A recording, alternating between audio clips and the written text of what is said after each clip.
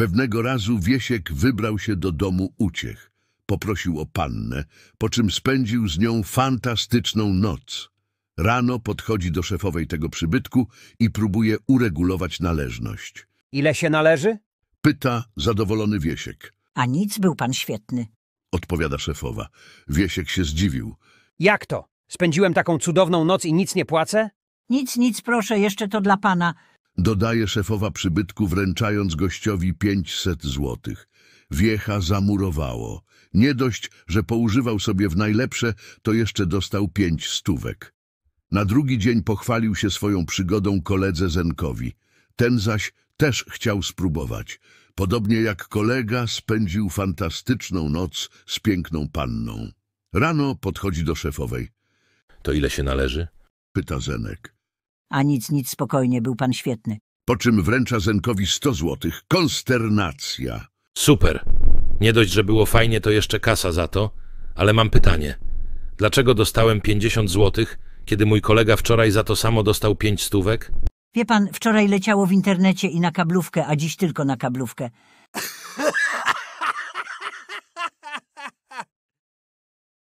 Franek, Wiesiek i Edek spotkali się raz przy piwie, ale wieczór nie był udany, bo Wiesiek cały czas kasłał. W końcu Franek mówi do niego Słuchaj, idź ty lepiej do lekarza, bo się wykończysz tym kaszlem? Byłem już. Dostałem górę leków, ale jest coraz gorzej. Następnego dnia spotkali się znowu, ale Wieśkowi nic nie jest lepiej. Dalej kasłał bez przerwy, Chyba mam pomysł, jak ci pomóc. Chodź ze mną. mówi Franek.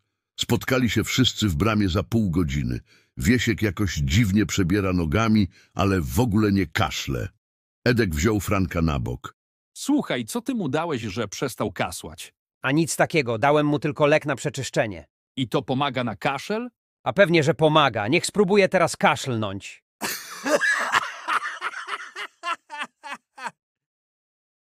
Wieśka wcześniej wypuszczono z pracy z powodu inwentaryzacji.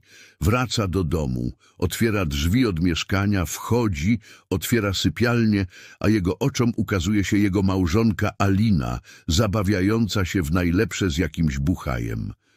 Wiesiek, widząc tą akcję, uśmiecha się z przekąsem i ironicznie stwierdza Hmm, widzę, że to nie ja gram pierwsze skrzypce w naszej orkiestrze.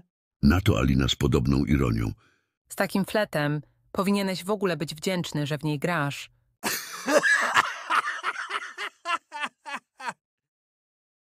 Gutowiński miał zrobić prezentację w banku. Takie tam szkolenie. Wszedł do sali, podłączył laptopa i projektor. Gdy już był gotowy, prosi kogoś z sali. Proszę o zgaszenie światła i zaczynamy. Nikt się nie ruszył, więc Kutowiński ponawia prośbę. Proszę Państwa, proszę o zgaszenie światła i zacznijmy prezentację. Ponownie nikt się nie ruszył. Na sali cisza. Kutowiński pomyślał, że to mało komunikatywni odbiorcy i zaczął sam szukać wyłącznika. Dochodzi do jednej ściany, nie ma. Na drugiej też nie ma. Trzecia, czwarta, nigdzie nie ma wyłącznika. Zdesperowany pyta. Proszę Państwa, gdzie u Was się gasi światło?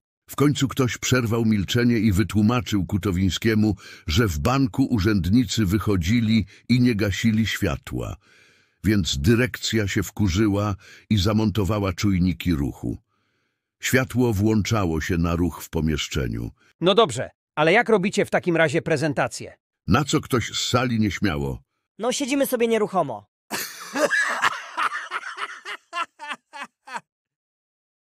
Pewnego dnia na świat przyszedł Jasio. Matka oficjalnie podczas porodu umarła. Lecz nieoficjalnie tylko lekarz znał przyczynę śmierci. Szok związany z tym, co zobaczyła. Jasio w pępku miał złotą śrubkę. Ojciec zareagował na złotą śrubkę nadwymiar łagodnie. Oczywiście chodził z Jasiem jeszcze w wieku niemowlęcym do wszystkich możliwych specjalistów, jednakże nikt nie mógł mu odpowiedzieć, po co ta złota śrubka. Spróbował zatem pogodzić się z faktem. Jasio po raz pierwszy zwrócił uwagę na swoją inność w przedszkolu. Pewnego dnia zauważył, że inne dzieci nie mają złotych śrubek w pępku. Podszedł zatem do swojej pani wychowawczyni, pytając – Proszę pani, czemu ja mam złotą śrubkę w pępku? Jasiu, nie mam pojęcia, ale jesteś normalnym chłopczykiem, nie martw się. I tak żył Jasio wyśmiewany przez wszystkich, przez cały czas zadając sobie to pytanie, na cholerę mi ta śrubka w pępku. Swoją pierwszą miłość musiał mocno upić, żeby nie zmieniła zdania, gdy to podczas jednej z imprez zechcieli spędzić noc w sypialni rodziców. Nadszedł czas liceum, Jasio już wtedy wiedział, jaki profil klasy go interesuje. Biologiczna. Wtedy też, wraz ze swoim panem profesorem, badali dokładnie pochodzenie złotej śrubki. Nadszedł czas matury, którą Jasio rzecz jasna zdał bez najmniejszych problemów, a oni nadal nie mogli znaleźć odpowiedzi na pytanie, co to za złota śrubka. Studia Jasio sobie obrał medyczne. Wraz z najlepszym profesorem na wydziale studiowali budowę złotej śrubki. Przeprowadzali badania, eksperymenty, jednakże nijak nie mogli pojąć przeznaczenia i zastosowania owej złotej śrubki. W końcu profesor zaproponował Jasiowi udział w międzynarodowej konferencji medycznej, która co cztery lata gromadzi najlepsze i największe światowe sławy lekarskie. Jednakże od razu zaznaczył, Niektóre badania mogą być bolesne. Poza tym nie wiadomo, jakie będą skutki uboczne. oczywiście Jasio postawił wszystko na jedną kartę. Jeśli tak ma być, to niech tak będzie. Ja po prostu muszę wiedzieć. Ja po prostu muszę wiedzieć, na co mi ta śrubka. Badania trwały długo. Na szczęście obeszło się bez skutków ubocznych. Oprócz czasowego niedowładu prawej ręki, wyniki badań zostały przedstawione ostatniego dnia konferencji. Wyniki badań nie przyniosły żadnego rezultatu. I tak właśnie Jasio pozostał na lodzie. Cała medycyna, cała nauka, nikt nie potrafił odpowiedzieć na pytanie. Zrozpaczony Jasio zapijał się tanim whisky w półmroku pokoju, który wynajmował wraz z innymi kolegami ze studiów. Mógł pogodzić się ze śrubką, ale nie darował sobie tego, że nadal nie zna jej przeznaczenia. Ostatecznie poszedł do ostatniego miejsca, gdzie może dowiedzieć się prawdy, do kościoła. Ksiądz, bardzo zaciekawiony, próbował studiować w starych manuskryptach o złotych śrubkach, przeszukiwał najstarsze księgi i pisma z najstarszych bibliotek, a nawet wystosował pismo do papieża. Zero odzewu. Nie wiadomo, co to jest, na co to jest, do czego to służy. Ostatnią odpowiedzią, która dobremu księdzu przyszła do głowy jako pokrzepienie serca młodego chłopaka było Jasiu, oddaj swoją duszę Bogu, oddaj swoje serce Bogu, a wyjawi On przed tobą prawdę. Jasio oczywiście zastosował się do rady księdza. Wyprowadził się na pustkowie i tam w biedzie medytował przez pełne trzydzieści lat życia.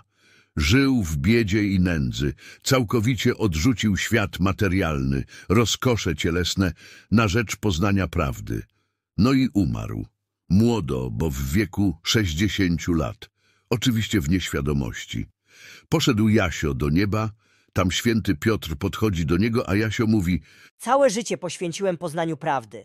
Poruszyłem wszystko, co mogłem, by się dowiedzieć. Zrezygnowałem z całego świata, który mogłem zdobyć, bo chciałem znać prawdę. Do czego służy ta złota śrubka? Co mam ją w pępku? Święty Piotr wyjął złoty śrubokręt, odkręcił złotą śrubkę i Jasiowi odpadł tyłek.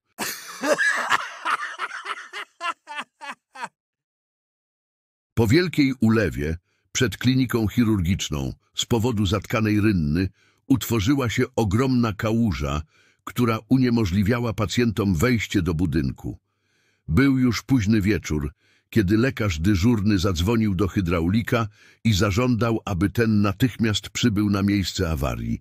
Hydraulik, który wrócił właśnie z dorocznego balu hydraulików, rzekł Przyjadę do pana z samego rana.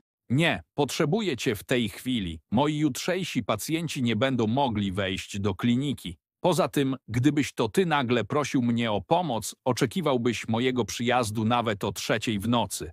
Tu mnie masz! odparł hydraulik. Przybył po jakiejś godzinie ubrany w smoking i z butelką w rękach. Wyciągnął z kieszeni dwie tabletki i powiedział Doktorze, wrzucam te tabletki do wody, więcej dzisiaj nie mogę zrobić. Co to za tabletki? na to hydraulik. Aspiryna. I jeśli kałuża nie zniknie do jutra, proszę zadzwonić jeszcze raz.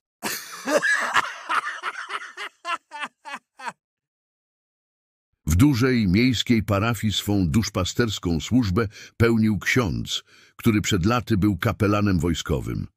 Dawne to były czasy, ale że stan żołnierski ukochał całą duszą, więc jego wojskową naturę widać było na każdym kroku. Głos miał stanowczy i donośny, ruchy energiczne, wyraz twarzy marsowy, choć tak naprawdę serce miał miękkie i czułe dla bliźnich. Gdy nadchodził dzień dorocznej procesji Bożego Ciała, ksiądz ów był w swoim żywiole. Wydawał rozkazy, rzucał komendy, panował nad swą armią ministrantów, bielanek, osób duchownych i świeckich. Raz, na moment przed ruszeniem procesji, przed byłym kapelanem wydającym ostatnie rozkazy, stanęła siostra zakonna. Siostrzyczka była młoda, drobnej postury, niewielkiego wzrostu. Cichutkim i cienkim głosikiem zapytała Proszę księdza, to gdzie ja mam stanąć? Boży kapłan spojrzał na nią z góry, zmarszczył brwi i huknął gromko. A siostra z którego pododdziału?